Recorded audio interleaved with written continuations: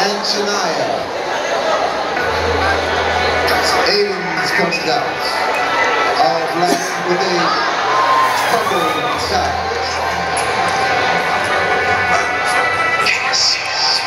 Sarah is wearing